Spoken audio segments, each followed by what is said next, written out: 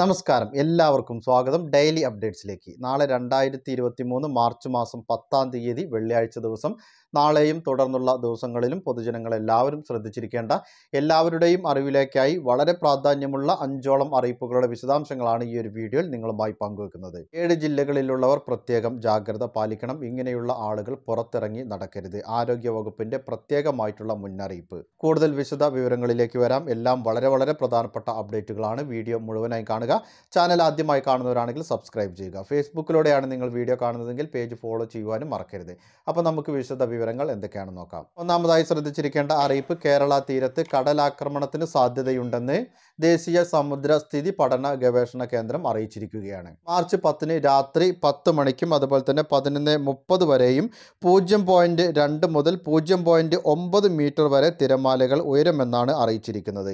ഈ സാഹചര്യത്തിൽ മത്സ്യത്തൊഴിലാളികൾക്കും തീരദേശവാസികൾക്കും ജാഗ്രതാ നിർദ്ദേശം നൽകിയിട്ടുണ്ട്. എന്നാൽ കേരളം കർണാടക ലക്ഷദ്വീപ് തീരങ്ങളിൽ മത്സ്യബന്ധനത്തിന് തടസ്സമില്ല എന്നും അറിയിച്ചിട്ടുണ്ട്.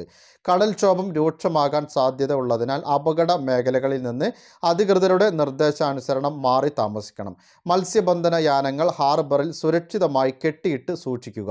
ബീച്ചിലേക്കുള്ള യാത്രകളും കടലിൽ ഇറങ്ങിയുള്ള വിനോദങ്ങളും പൂർണമായും ഒഴിവാക്കണമെന്നും മുന്നറിയിപ്പിൽ പറയുകയാണ്. അടുത്തതായി ശ്രദ്ധിച്ചിരിക്കേണ്ട അറിയിപ്പ് കേരളത്തിൽ ചൂട് ഉയരുകയാണ്. കേരളം ഉരുകി ഒലിക്കുകയാണ് എന്ന് തന്നെ പറയാം. തിരുവനന്തപുരം കോട്ടയം കണ്ണൂർ ആലപ്പുഴ എന്നീ ജില്ലകളിൽ കടുത്ത ചൂടാണ് അനുഭവപ്പെടുന്നത്. ദുരന്ത നിവാരണ വകുപ്പ് പ്രസിദ്ധീകരിച്ച താപസൂചിക അനുസരിച്ച് സംസ്ഥാനത്ത് ഏഴ് ജില്ലകളിൽ സൂര്യാഘാത ഭീഷണി ഉണ്ടെന്നാണ് അറിയിക്കുന്നത്. കണ്ണൂർ കോഴിക്കോട് എറണാകുളം കോട്ടയം ആലപ്പുഴ കൊല്ലം തിരുവനന്തപുരം എന്നീ ജില്ലകളിലാണ് സൂര്യാഘാതത്തിന് സാധ്യതയുള്ളത്.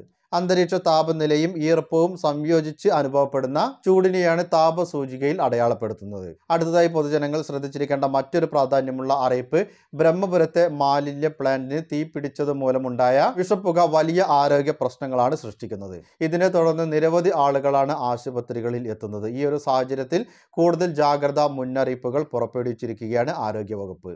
ശ്വാസതടസ്സം ചുമ നെഞ്ചിലെ അസ്വസ്ഥത വേദന തലകറക്കം തലവേദന മുതലായവ അനുഭവപ്പെടുകയാണെങ്കിൽ ഉടൻ തന്നെ അടുത്തുള്ള ആശുപത്രിയിൽ ചികിത്സ തേടണമെന്ന് ആരോഗ്യവകുപ്പ് മുന്നറിയിപ്പ് നൽകുന്നു. വീടിനുള്ളിൽ വിറകടുപ്പ് കത്തിക്കുകയോ പുക വലിക്കുകയോ മറ്റും ചെയ്യാതിരിക്കാനും നിർദ്ദേശമുണ്ട്. അത്യാവശ്യമല്ലാത്ത യാത്രകൾ ഒഴിവാക്കുക. പുറത്തിറങ്ങേണ്ടി വന്നാൽ എൻ നയന്റി മാസ്ക് ഉപയോഗിക്കുക. ഗർഭിണികൾ കൊച്ചുകുട്ടികൾ പ്രായമായവർ തുടങ്ങിയവർ ഉയർന്ന അപകട സാധ്യതയുള്ള ആളുകൾ കഴിയുന്ന അത്രയും വെളിയിൽ ഇറങ്ങാതെ ഇരിക്കുക. കൂടാതെ കൊച്ചിയിലെ വിവിധ പ്രദേശങ്ങളിൽ സ്കൂളുകൾക്ക് നാളെയും അവധി പ്രഖ്യാപിച്ചു. വടക്കുംകോട് പുത്തൻകുരിശ് ഗ്രാമപഞ്ചായത്ത് അതുപോലെ തന്നെ കിഴക്കമ്പലം ഗ്രാമപഞ്ചായത്ത് കുന്നത്തുനാട് ഗ്രാമപഞ്ചായത്ത് Thrikkakara municipality Tripunithura municipality Maradu municipality Kochi municipality corporation എന്നീ തദ്ദേശ സ്ഥാപനങ്ങളിലെ പ്രൊഫഷണൽ കോളേജുകൾ ഉൾപ്പെടെയുള്ള എല്ലാ വിദ്യാഭ്യാസ സ്ഥാപനങ്ങൾക്കും വെള്ളിയാഴ്ച അവധിയാണ്. അങ്കണവാടികൾ കിൻഡർ ഗാർട്ടൻ അതുപോലെ തന്നെ ഡേ കെയർ സെന്ററുകൾ എന്നിവയ്ക്കും സർക്കാർ aided unaided C B S E I C S E സ്കൂളുകൾക്കും അവധി ബാധകമായിരിക്കും. എന്നാൽ S S L C higher secondary പരീക്ഷ ഉൾപ്പെടെ പൊതു പരീക്ഷകൾക്ക് മാറ്റമില്ല.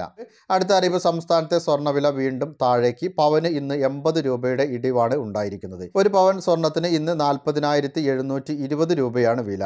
ഇന്ന് നേരിയ ഇടിവാണ് രേഖപ്പെടുത്തിയിട്ടുള്ളതെങ്കിലും കഴിഞ്ഞ രണ്ട് ദിവസത്തിൽ മാത്രം അറുന്നൂറ് രൂപയുടെ കുറവാണ് സ്വർണത്തിൽ ഉണ്ടായിരിക്കുന്നത് പൊതുജനങ്ങളുടെ അറിവിലേക്കായി വളരെ പ്രധാനപ്പെട്ട അറിയിപ്പുകളുടെ വിശദാംശങ്ങളാണ് ഈ ഒരു വീഡിയോയിൽ പങ്കുവച്ചത്. മറ്റുള്ളവരിലേക്ക് ഈ ഇൻഫർമേഷൻ നിങ്ങളൊന്ന് ഷെയർ ചെയ്തെത്തിക്കുക. നിങ്ങളുടെ വിലയേറിയ അഭിപ്രായങ്ങളും നിർദ്ദേശങ്ങളും കമന്റിലൂടെ എഴുതി അറിയിക്കുവാനും മറക്കരുത്. പുതിയൊരു വീഡിയോയിൽ വീണ്ടും കണ്ടുമുട്ടാം. അതുവരേക്കും അനൂപ് സൈനിങ് ഓഫ്.